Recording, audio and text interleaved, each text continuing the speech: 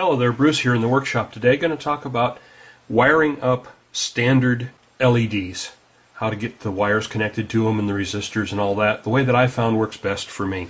Got a collection of tools and supplies. Uh, the wire strippers, going to kind of set them off to the side uh, as I talk about them. Uh, cutters, a couple of, couple of versions of tweezers.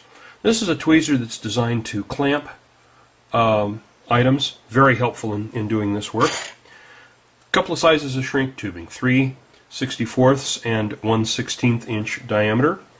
I'll talk about the difference there later. Some solder, some wire, if you're going to wire it up, kind of helps to have wire.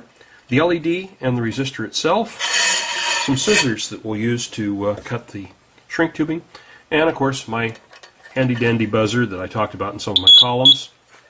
I don't like to work on anything that isn't going to produce for me. So first I'm going to test the LED. You'll see the, the, the longer lead is the positive lead, so I'm going to hook the positive lead from my buzzer to it.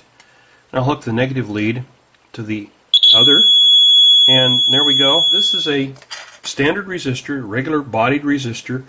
Uh, nothing particularly um, special. In fact, these are ones that I um, got for a really good price, a few cents a piece, that I use for some uh, lighting projects and um, uh, you know, buildings and that sort of thing, fluorescent lights in, in buildings and that sort of thing. It's a um, pretty bright white LED, and uh, but it's a good thing to practice on too because they're fairly inexpensive. You'll notice that there's a longer lead uh, on the LED and a shorter lead. The